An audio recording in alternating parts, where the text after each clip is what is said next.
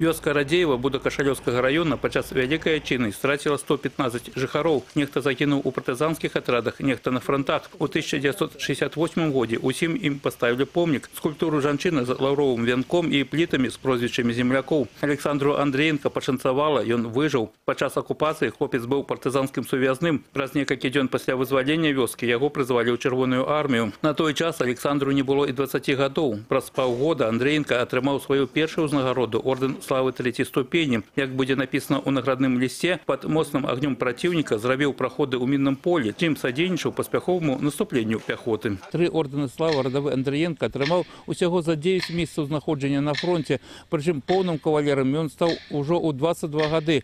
Па словах яго баявых сяброў, гэта быў вельмі адважны салдат.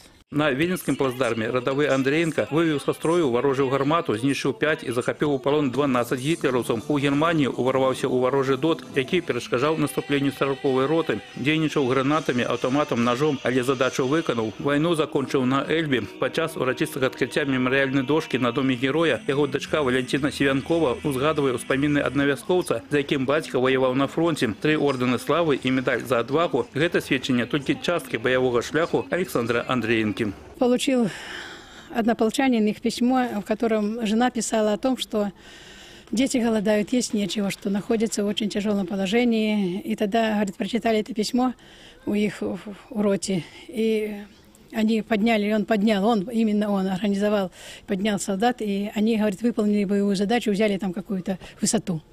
Вот именно из-за этого письма. Но он такой был всегда впереди, всегда.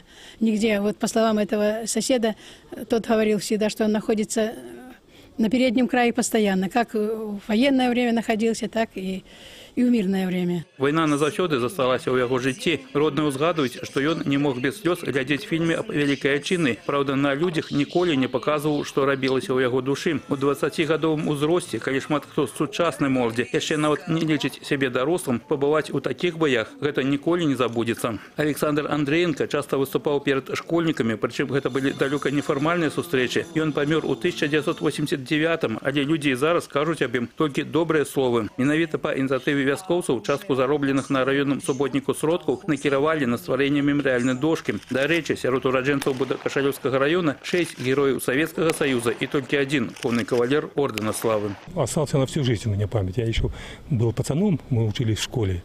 Он к нам приходил в школу. Он нам рассказывал о войне, он нам рассказывал, как он воевал, он рассказывал однополчанах. Мы гордились этим человеком. Он ну, человек большой бог был. Олег Сентюров, Валерий Гапанько, телерадиокомпания «Гомель», Будакашалёўский район.